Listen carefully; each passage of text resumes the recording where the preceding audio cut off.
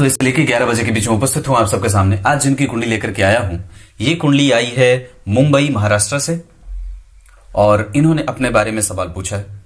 पर शुरू करने से पहले आप लोगों को बताऊँ, रविवार के सवाल अवश्य ही कमेंट में लिखिए। अपनी कुंडली से भी अगर हो सके तो अवश्य लिखा करिए, और रविवार के शाम का कार्यक्रम जो आठ बजे जाता है, उसे अवश्य देख लीजिए। फ्री कुंडली विश्लेषण जो मैं करता हूँ विश्लेषण जन्म कुंडली का इस कार्यक्रम के अंतर्गत वो सुबह में करता हूँ। मतलब सुबह में रविवार को जाता है वो दस बजे से ग्यारह बजे के बीच में। शुरू करते हैं आज का कार्यक्रम। कहीं नहीं जाना है। बिल्कुल बन के रहिएगा। कार्यक्रम के आरंभ में मैं सबसे पहले आपको बता दूँ मनुस्मृति की बात। भगवान मनु ने मनुस्मृति में विभिन्न वर्णों के लिए विभिन्न कर्म बताए। भगवान मनु ने मनुस्मृति में विभिन्न वर्णों के लिए विभिन्न कर्म बताए हैं। जैसे, ब्राह्मणों के लिए अध्ययन, अध्यापन, दान लेना, दान देना, यजन, याजन करना। ये ब्राह्मणों के छह कर्म हैं। उसी तरीके से क्षत्रियों के लिए पाँच कर्म बताए हैं। प्रजा का पालन, दान देना, अध्ययन करना और यज्ञ आदि का कृत्य करना और पांचवा, विषयों में अनासक्ति। ये पाँच कर्म क्षत्रिय के वैश्यों के लिए भगवान ने बड़ा सुंदर श्लोक लिखा है। पशुनाम, रक्षणम, दानम, विद्या अध्ययन में वच वणिक पथम वणिक पथम कुसीदम च, वैश्यस्य कृषि में वच पशुओं की सुरक्षा, अध्ययन, दान। और व्यापार का काम करना। लिखा है ना, वणिक पथम, कुसीदम च, ब्याज सट्टा आदि का काम भी कर सकते हैं और कृषि का काम करना।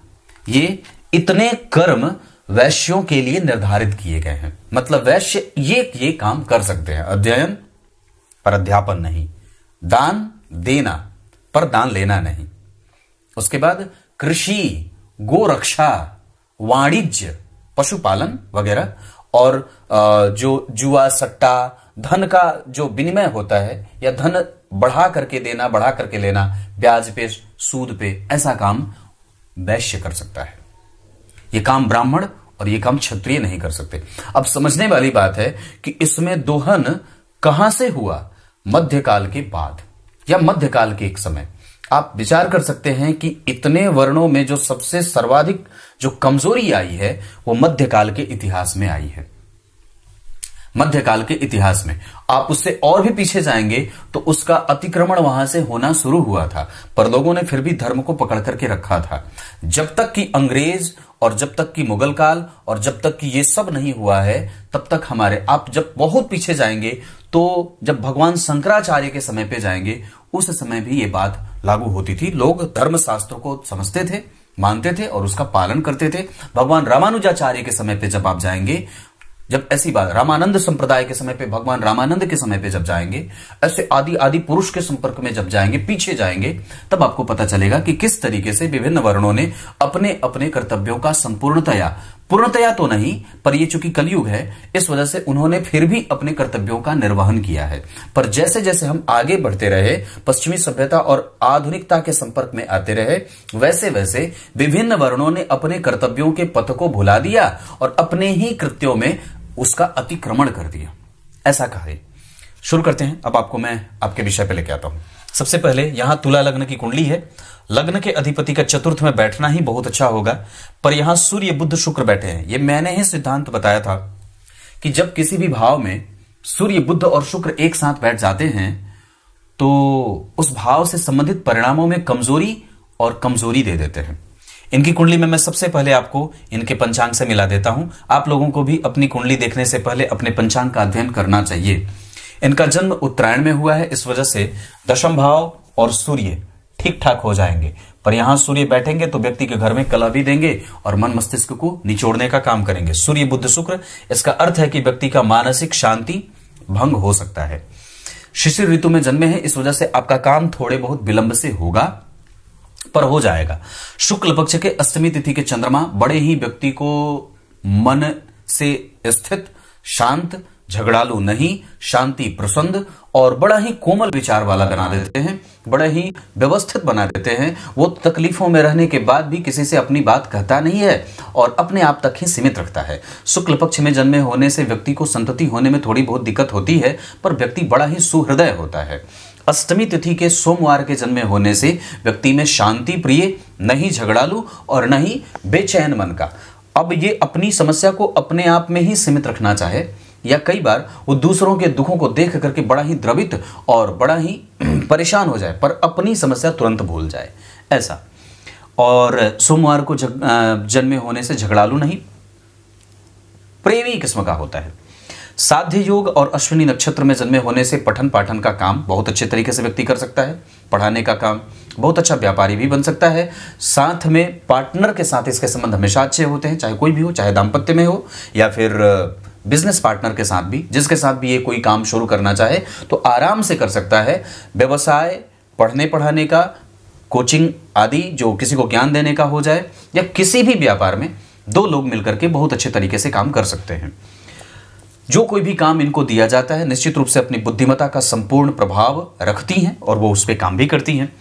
क्षत्रिय वर्ण और देवगण के होने के कारण जीवन में लक्ष्य बड़ा ऊँचा तो नहीं होता, पर व्यक्ति के पास जितना भी होता है, वो उसको पूरी करने की, पूरी और प्राप्त करने की पूरी कोशिश करता है। देवगण के होने के कारण व्यक्ति झगड़ालू नहीं है, शुद्ध है, शांत है, स्थिर है, गंभीर है, और धर्मशास्त्र में विश्वास करने वाला, बड़ों का आदर करने वाला, सास ससुर के साथ सामंजस्य बनाने वाला, सबके साथ बड़ा ही सीधे मन का होता है। ऐसा मैं कह सकता हूँ। बैलेंस बनाने में व्यक्ति की आधी उम्र व्यक्ति की निकल जाती है। यहाँ गुरु राहु के साथ नहीं होते तो और भी अच्छी बात होती। इस वजह से व्यक्ति के जीवन में कई बार आशावादी प्रवृत्ति को ठेस लगती है और कई बार वो आ, उसके पति को भी देखने में बनता है कि वो कई बार पूजा पाठ में थोड़ा कम विश्वास करे। या उसके दर्शन जो होते हैं जो दार्शनिक चिंतन होता है उसमें कई बार लोग बहुत अच्छे से विश्वास नहीं करते। ऐसा भी संभव है। और जो जीवन का संपूर्ण क्षेत्र होता है, वो थोड़ा संकुचित हुआ सा रहता है। इस वजह से भगवान की कृपा से अगर मैं कहूँ तो आपके अंदर कम से कम इतनी बुद्धि तो है, क्योंकि लग्न पे गुरु देख रहे हैं, चंद्रमा देख रहे हैं, और मंगल का प्रभाव भी रहेगा। तो गुरु, मंगल और चंद्रमा के प्रभाव से व्यक्ति के अंदर शिक्षकीय गुण होंगे, और सरकारी नौकरी का योग बनेगा। पर 50 प्रतिशत बन रहा है। आपको 50 मेहनत करने की बारी होगी। यहाँ के अधिपति इसे देख रहे हैं, इस वजह से छोटे भाई बहन इन सबके साथ संबंध सामंजस्य वाले ही बनेंगे। एकादशवें भाव के अधिपति का चतुर्थ में आना महाभाग्यशाली योग, लग्नेश का चतुर्थ में जाना यह भी बहुत अच्छा योग, राजयोग बनाएँगे। और बुद्ध इस कुंडली के भाग्येश और बारहवें भाव के अधिपति होकर के चतुर्थ में बैठे हैं। इसे भी महान राजयोग का ही निर्माण होगा। कारण है क्योंकि बुद्ध इस कुंडली के लिए सर्वाधिक शुभग्रह और राजयोग कारक ग्रह के रूप में व्यक्ति को राजकुमार बनाने की योग्यता या राजकुमारी बनाने की योग्यता रखने वाले होते हैं। नवम भाव के अधिपति के चतुर्थ में आना माता पिता के साथ संबंध व्यक्ति अच्छा रखना चाहता है, पर किसी न किसी वजह से थोड़ी बहुत घर में कलह का वातावरण ये तीनों ग्रह बैठ करके मिला करके बनाते हैं। चंद्रमा मेष राशि के बैठे हैं और इस पे केतु की दृष्टि होने से और पीछे मंगल और आगे शनि के सप्तम भाव पे पापकर्त्री लगने के कारण व्यक्ति का दैनिक जीवन परेशान न हो, इसका ध्यान रखना चाहिए। आप अपने पति को प्रिय होंगे, इसमें पक्की बात है, इसमें कोई दिक्कत नहीं है, पर ये सूर्य बुद्ध शुक्र घर में कलह का वातावरण और यहाँ पे मंगल और यहाँ पे शनि, ये जो है और यहाँ राहु और रोग भाव के अधिपति लग्न में शुक्र के साथ मंगल ने देखा है। इस वजह से कई बार व्यक्ति को रक्तजनित समस्याएँ होती हैं, अनियमितता की समस्या होती है, और कई बार व्यक्ति को रक्त से संबंधित जो भी समस्याएँ होती हैं, जिसका प्रभाव कई बार चमड़ी पर भी देखा जाता है या चेहरे पर भी देखा जाता है, बालों पे देखा जाता है। इस पे भी होता है। पेट साफ़ रखने की पूरी कोशिश करिए। शहद मिला हुआ जल अवश्य पीजिए और जितना ज़्यादा हो सके शुद्ध भोजन करने की आवश्यकता है, क्योंकि यहाँ मंगल पेट के रोगी और यहाँ शनि कई बार नाभि के क्षेत्र को परेशान करते हुए दिखे जा रहे हैं।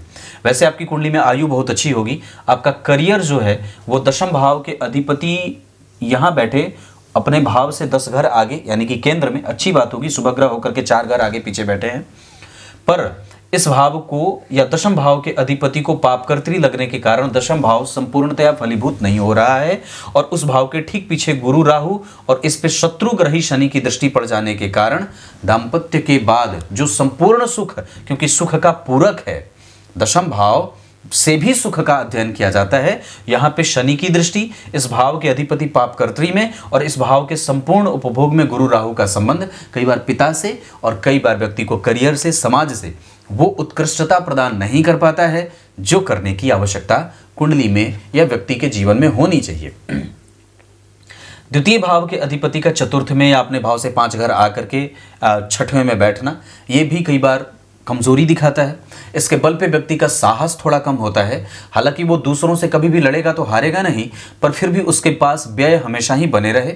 या व्ययात्मक स्थितियाँ दिमाग में भी चलती रहे धन को लेकर के भी चलता रहे।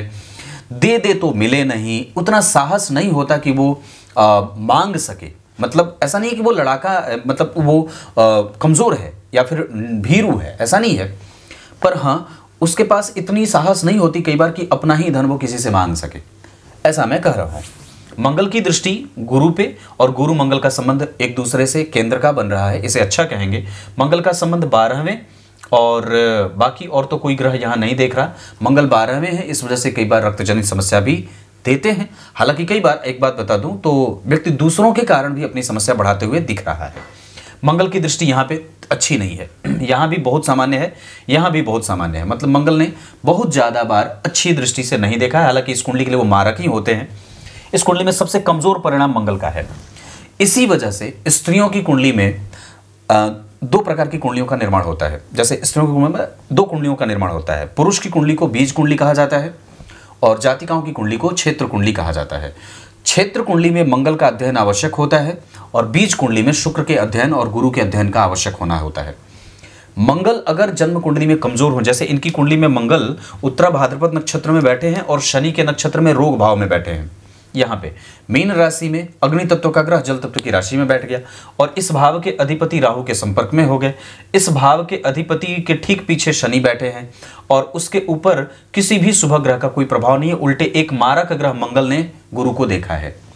इस वजह से कि व्यक्ति की कुंडली में संतति से संबंधित समस्या निश्चित रूप से संभव है। पंचम भाव को भी आप देखेंगे तो तीन ग्रह और आगे मंगल, पंचम भाव को गड़बड़ी और पंचमेश अष्टम में। इस वजह से संतति में समस्या हो सकती है, कुंडली मिलाना और अपने स्वास्थ्य का संपूर्णतया चेक कराना निश्चित रूप से आवश्यक होगा, क्योंकि आपकी कुंडली में यहाँ पे भी पंचम भाव के अधिपति बुद्ध के साथ बैठे हैं जो इस कुंडली के लिए अच्छे होते हैं। कमज़ोर यहाँ नहीं है तो उस वजह से आपके दाम्पत्य पे तो कोई असर नहीं देख रहा हूँ, पर थोड़ी बहुत चंचलता रहेगी और कन्फ्यूज़न वाले में आप खुद ही रहेंगे कि कई बार आप बेवजह की चिंताओं में भी अपने आप को उलझाएँगे और यहाँ पे मंगल बैठ करके आपकी कुंडली को कई बार परेशान करने की कोशिश करेंगे, क्योंकि अष्टम में राहु बैठ करके आपकी कुंडली में यहाँ भी वो गुरु को देख रहे हैं। मतलब पति जो होता है, वो जातिकाओं की कुंडली में गुरु होता है। अगर गुरु राहु के संपर्क में हो, अगर गुरु पे अच्छे ग्रह की दृष्टि ना हो, अगर गुरु कहीं अनियंत्रित हो रहे हैं, जैसे बारहवें हो रहे हैं, यहाँ पे भी अष्टम में बैठ रहे हैं, यहाँ पे तो वो कई बार आपको खुद के व्यवसाय में भी लेके जा रहे हैं। यहाँ पर भी गुरु का प्रभाव आपको अगर चाहें तो आप खुद के व्यापार में भी जा सकते हैं, खुद के पढ़ाने का काम भी कर सकते हैं, पार्टनर के साथ जुड़ करके कोई भी काम कर सकते हैं, आपकी कुंडली में व्यापारिक स्थिति भी अच्छी बनी है। पर यहाँ पे जो मैं बोल रहा हूँ कि गुरु राहु के संपर्क में मंगल का प्रभाव, शुक्र का प्रभाव, उच्च के शुक्र बने हैं तो व्यक्ति दाम्पत्य में आर्थिक रूप से कमज़ोर नहीं होता। उसके संबंध सास ससुर और इनके साथ भी कमज़ोर नहीं होते, बहुत अच्छे होते हैं, इसमें भी कोई गड़बड़ी नहीं है। पर हाँ कई बार आप अपने ही कारण, अपने आप को ही चिंता में डालेंगे। ऐसा मैं देख रहा हूँ। ये कुंडली तुला लग्न की है। जातिकाओं की कुंडली में तुला लग्न, कन्या लग्न बड़ा अच्छा माना जाता है, कुंभ लग्न भी अच्छा माना जाता है। ये पति को प्रेमी और प्रेम करने वाली होती हैं, स्वयं भी पति प्रिया होती हैं और कभी भी आर्थिक रूप से इन्हें कष्ट झोल झेलने की आवश्यकता नहीं पड़ती है। सप्तम भाव के अधिपति के ऊपर किसी शुभ ग्रह का कोई प्रभाव नहीं है और सप्तम भाव पे बुद्ध और चंद्रमा का प्रभाव है। बुद्ध की बुद्ध इस भाव से केंद्र में है।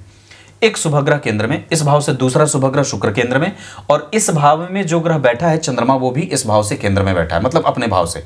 इस वजह से सप्तम भाव ठीक होगा, पर पापकर्त्री लगने के कारण इस भाव को कमज़ोरी में देख रहा हूँ। यहाँ पे भी सप्तम भाव के अधिपति शुक्र जो बैठ, बुद्ध जो बैठे हैं, वो चंद्रमा के साथ बैठे हैं तो और शनि की दृष्टि पंचम भाव पे जा रही है, ये थोड़ा ठीक नहीं है, और राहु की दृष्टि जन्म कुंडली में बुद्ध और चंद्रमा दोनों को प्रभावित कर रही है। इस कारण से हमें निश्चित रूप से कुंडली मिला करके और सावधानी से विवाह करना होगा। वायव्य कोण की तरफ़ से अगर कोई संबंध आए पच्चीस, पश्चिम और उत्तर दिशा से तो आप विवाह कर सकते हैं। गुरु राहु में जब कभी भी विवाह के लिए जाएँ तो अवश्य ही सामने वाले से पूछ लें। पूजा पाठ धर्म शास्त्र ज्योतिष आदि आदि चीज़ों में और बड़े बुज़ुर्गों की सेवा में, नशा खुरानी में ऐसे ऐसे आदि, इन सब चीज़ों में उसकी स्थिति कैसी है? झूठ ना बोलता हो, व्यापार में बहुत ज़्यादा चपल ना हो, ऐसी स्थितियाँ ना बने तो ज़्यादा सावधान होने की आवश्यकता है। वैसे एक बात बता दूँ तो आपकी कुंडली में आपका दाम्पत्य बिल्कुल ठीक है, मैं उसकी गारंटी ले सकता हूँ। आपका दाम्पत्य बिल्कुल ठीक है, उसको लेकर के कंफ्यूजन मत रखिए। आप परेशान होंगे सिर्फ़ अपने कारण। बस। यहाँ बुद्ध बैठे हैं नीच के और शुक्र बैठे हैं केंद्र में। अष्टम भाव के अधिपति होकर के परिवर्तन में जा रहे हैं। जितना दिमाग लगाएँगे उतना बढ़िया रहेगा। थोड़ा बहुत मन परेशान रहेगा आपका। आपकी कुंडली में यहाँ पे थोड़ी सी गड़बड़ी है। पर आप पराक्रमी हो, मेहनती हो पढ़ने पढ़ाने का योग आपकी कुंडली में लग तो रहा है।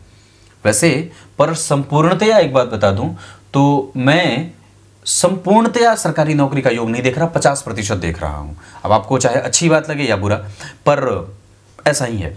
एक बात और बता दूँ दशमांसा कुंडली में बुद्ध नीच के नहीं होते, गुरु अष्टम में नहीं बैठे होते, लग्नेश होकर के। मैंने याद करिए दशमांसा कुंडली के अध्ययन में क्या बात कही थी कि लग्न का अधिपति अगर अष्टम में बैठ जाए तो परेशान करता है। वही कर रहा है। इसी वजह से आपको अभी तक सफलता नहीं मिली और दशा भी आपकी कुंडली में शुक्र की चल रही है। अगर कोशिश करिएगा तो आपको लाभ की प्राप्ति 2024 के जून से होते देख रहा हूँ।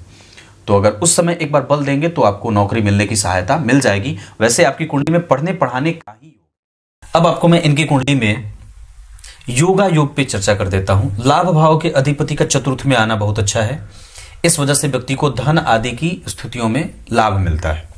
यहाँ पे सूर्य लग्न में और उच्चाभिलाषी है उच्च के ग्रह के साथ बैठे हैं इस वजह से ये अच्छी बात होगी। यहाँ भी वो आ, कम से कम कर्म क्षेत्र में व्यक्ति को जो मिलना चाहिए वो मिल जाएगा पर इनिशियल स्टेप में उसको दिक्कत होगी। धन भाव के अधिपति का छठवें में जाना यह दारिद्र दोष बनाएगा और धन भाव पे शनि की दृष्टि कई बार पैतृक संपत्ति में विवाद का कारण भी बनेगी। वैसे मंगल के ऊपर और धन भाव के ऊपर पापक ग्रह का प्रभाव है क्योंकि मंगल एक तो छठवें भाव में बैठे हैं तो व्यक्ति को साहसी और जिद्दी बनाएँगे, कर्मठ बनाएँगे, पर कई बार ये थोड़ा दब्बू भी होगा। भाग्य भाव के अधिपति का चतुर्थ में आना, माता और पिता की सेवा करने वाला और उनके प्रति सच्चा और दया का भाव रखने वाला। लेकिन इस भाव में गुरु और राहु के कारण कई बार व्यक्ति के स्वयं के भाग्य में कमज़ोरी भी देखने को मिल रही है। इस वजह से एकादशी आरंभ करिए। ब्राह्मण, क्षत्रिय, वैश्य, शूद्र सबको एकादशी करना चाहिए और सबको चुटिया रखनी चाहिए। ये बात मैं सबके लिए बता रहा हूँ। हमेशा प्रत्येक व्यक्ति को उसके जन्म से ही जो उसके सर पे बाल होते हैं, उसका कभी भी भक्षण नहीं करना चाहिए। भक्षण मतलब काटना, मेरे कहने का अर्थ है, काट देना नहीं चाहिए। उसको बिल्कुल साफ़ नहीं करना चाहिए। उसे हमेशा रखना चाहिए। जीवन पर्यंत मृत्यु तक रखना चाहिए। कभी भी संपूर्ण बाल नहीं उतारे जाते संपूर्ण बाल के बाद यहाँ जो बीच का शिरोबिंदु है, उसे अवश्य रखना चाहिए। ब्राह्मण, क्षत्रिय, वैश्य, शूद्र सभी तिलक भी धारण कर सकते हैं और सभी चुटिया भी रख सकते हैं। कर्तव्य के बाद जो फल की प्राप्ति होती है, उससे सनातन धर्म में कभी भी किसी को वंचित नहीं किया गया है। हाँ, पर यह बात आवश्यक है कि प्रत्येक कृत्य प्रत्येक व्यक्ति के लिए नहीं है। जैसे डॉक्टर का जो चिमटा है और डॉक्टर की जो कैंची है, वो रोगी अपने से पकड़ करके अपना ऑपरेशन नहीं कर सकता। जिस तरीके से नाई खुद की दाढ़ी अपने से और बाल नहीं बना सकता, उसी तरीके से हमेशा ही ये बात समझने वाली है कि अतार्किक होकर के, किसी भी कुतर्क में फंस करके, किसी भी तरीके से अपने धर्मशास्त्रों का और उनमें लिखी गई बातों का उल्लंघन नहीं करना चाहिए। हमेशा ही उनका और उनके प्रति आदर का भाव रखना होगा। जब कभी भी कुंडली में यह बात मैं आप लोगों को भी बताऊँ, कि लाभ भाव, धन भाव, चतुर्थ भाव, नवम भाव और पंचम भाव बहुत सटीक और अच्छे बन रहे हो तो ये व्यक्ति कितने ही तरीके से धन का अर्जन कर सकता है, ये कोई भी नहीं जानता। उसके पास धन के अनगिनत और मल्टीपल सोर्स हो सकते हैं। अगर धन भाव, लाभ भाव, नवम भाव और पंचम भाव ठीक बने तो व्यक्ति को समाज से व्यक्ति को भाग्य से, व्यक्ति को कुटुंब से, व्यक्ति को अपने जीवन से भी प्रेम होता है। वो सबको एक साथ लेकर के चलना चाहता है और सब, सबके बारे में विचार भी करता है। वो विश्व प्रसिद्ध होना चाहता है। समाज के लिए परोपकार का भाव रखता है। दया होता, दया, दयावान होता है। सहिष्णु होता है। सभी धर्मों का सामान्यतया समान आदर करने वाला होता है। ये विलक्षणता पंचम, नवम, एकादश और द्वितीय भाव ही देते हैं।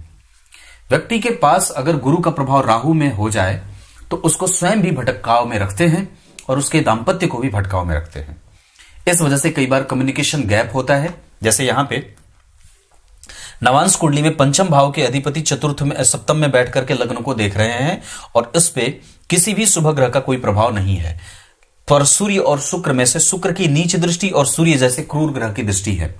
इस वजह से हमें हमेशा ही यह बात याद रखनी होगी कि अगर नवांश कुंडली के नवम भाव में या नवम भाव के अधिपति के ऊपर अगर किसी शुभ ग्रह की अच्छी दृष्टि ना पड़ रही हो तो हमें बातचीत कभी भी बंद नहीं करनी चाहिए। हमेशा ही बातचीत और एक दरवाज़ा कम से कम खुला रखने की आवश्यकता है कि आप जब कभी भी कोई कोई मनमुटाव वाली बात हो तो आप फिर से वहाँ से शुरू कर सके। और अपने आप को बहुत ज़्यादा बेवजह की लापरवाही में रखने की कोई आवश्यकता नहीं है। कई बार होता है कि हमारे सामने वो समस्या होती नहीं है, पर हम उसे समझ करके या जानबूझ करके कि ज्योतिष में ऐसे सूत्र मेरे ऊपर लागू हो रहे हैं कि गुरु राहु बैठा है, मंगल, जैसे इस कुंडली में इनका पेट कमज़ोर हो सकता है, दाम्पत्य में विलंब से विवाह का योग बन सकता है, ये सारी चीज़ें हो सकती हैं। पर संतति में भी मैंने जैसे कही यह बात की, समस्या हो सकती है। पर एक बात है कि अगर ये गुरु राहु के संपर्क में नहीं होते और गुरु की दृष्टि अगर यहाँ या यहाँ के अधिपति अगर स्तंभ में नहीं बैठे होते तो बहुत हद तक अच्छी बात होती। पर सफलता ये यहाँ से मिल सकती है कि जब आपकी कुंडली में सप्तमांसा कुंडली, जो संतान के लिए देखा जाता है कि संतति आप कैसे सिद्ध होंगे, आपकी संतति का सुख आपको कैसा मिलने वाला है तो वहाँ पे मैंने सप्तमांसा कुंडली के लिए एक सूत्र बताया था कि डी सेवन चार्ट के केंद्र में अगर मंगल बैठे हों तो व्यक्ति संतति का सुख अवश्य बैठता है और भोगता है। इनकी कुंडली में भी वो योग लगा हुआ है। इस वजह से व्यक्ति को संतति अवश्य हो जाएगी। पर अपने रक्त का और अपने पेट का संपूर्णतया विधिवत ख्याल रखने की बारी अभी से, क्योंकि कुंडली का वो पक्ष कमज़ोर दिख रहा है, जो संतति देने के लिए जिम्मेदार होता है और जो व्यक्ति को संततिवान बनाता है।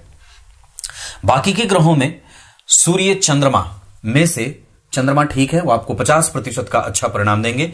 इस कुंडली के लिए चंद्रमा और सूर्य महत्वपूर्ण होते हैं। बुद्ध राजयोग कारक, शनि राजयोग कारक, शुक्र। प्रथमतया द्वितीय।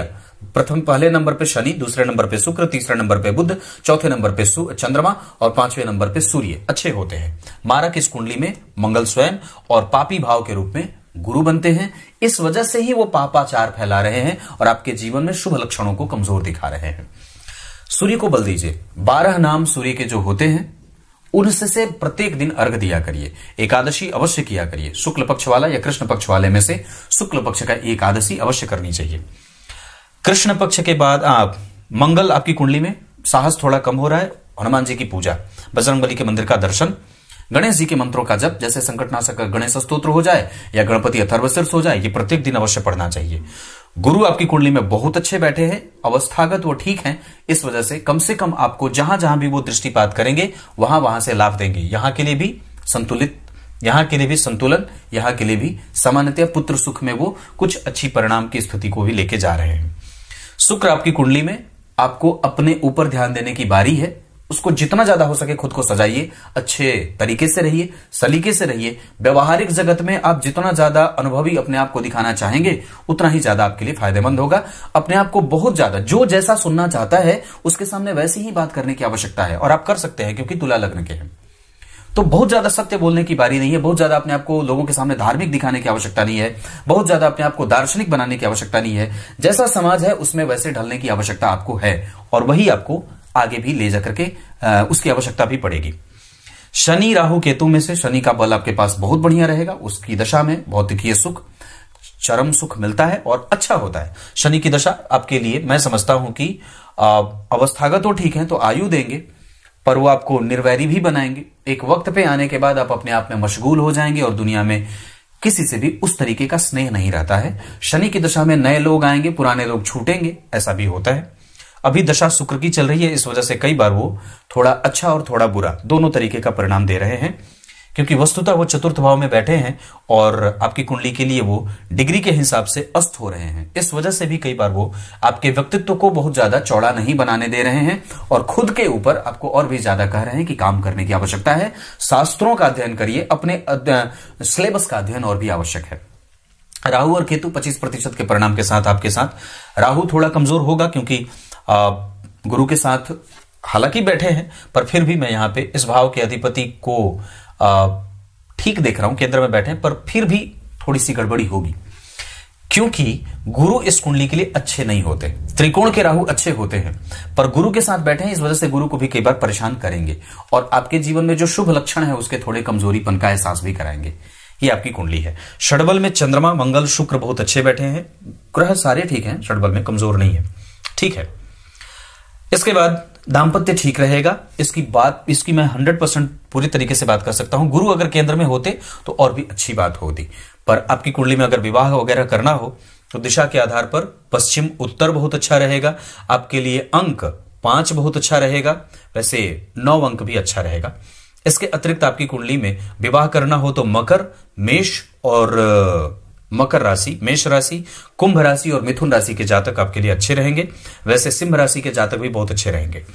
इसके अतिरिक्त आपकी कुंडली में अगर बात बताऊँ तो आपकी कुंडली में धन कमाने के लिए अगर निकलना चाहते हैं तो उत्तर दिशा की तरफ़ भी जा सकते हैं।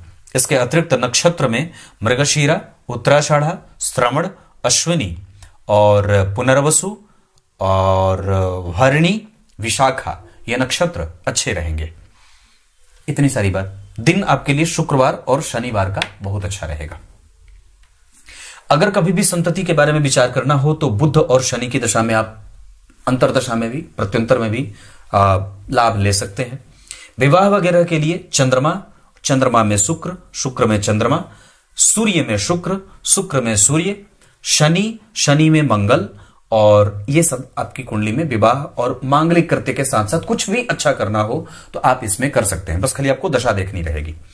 इसके अतिरिक्त आपको बचना होगा बुद्ध में शुक्र, बुद्ध में शनि, बुद्ध में मंगल, बुद्ध में गुरु और बुद्ध में मंगल की दशा। थोड़ी बहुत कष्टप्रद होगी, मंगल, बुद्ध भी कष्टदायक होंगे। चंद्रमा की दशा, सूर्य की दशा और शुक्र की दशा और शनि की दशा, ये सब अच्छी रहने वाली है। कुछ इसी तरीके से आज के कार्यक्रम का समापन करते हैं। आप क्या बताओ सब तो बता दिए। तब तक के लिए बहुत बहुत नमस्कार।